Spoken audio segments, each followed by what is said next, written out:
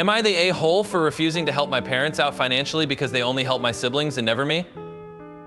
I'm 30M, the oldest of five, and my siblings are 28F, 27M, 25M, and 23F. Our parents were always generous with giving money when asked for it, except when it was me. I was told I should learn to work hard. I was told I didn't need the new video game or toy. I was told earning money was the only way I'd ever have money and I hadn't earned money from them. But my siblings could get whatever they wanted. When I first graduated college, I ended up struggling financially because where I went to work, the cost of apartments were so high. I asked my parents if they could help me out and they said no. I ended up in a shelter for a few weeks and then rented a dump of an apartment with a friend who found himself in the same situation.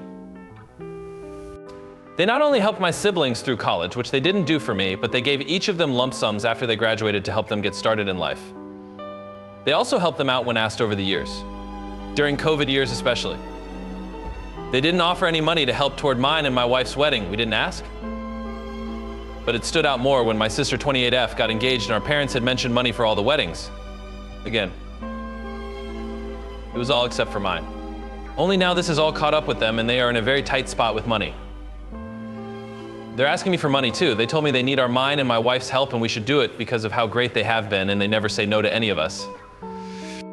I told them they never helped me with shit that they preferred to see me homeless rather than help me out. They argued back that it never happened and I could have asked if things were that bad. I showed them screenshots of texts where I had brought the topic up after asking them verbally. My parents dismissed it and then told me they're still my parents and I'm the most settled and I could afford to help them. I admitted that I could. But I didn't feel they had earned it. My parents called me spiteful and said I should help my parents rather than see them lose everything. I told them to ask the kids who they helped. My siblings were also pissed I said no. They told me mom and dad don't deserve my pettiness.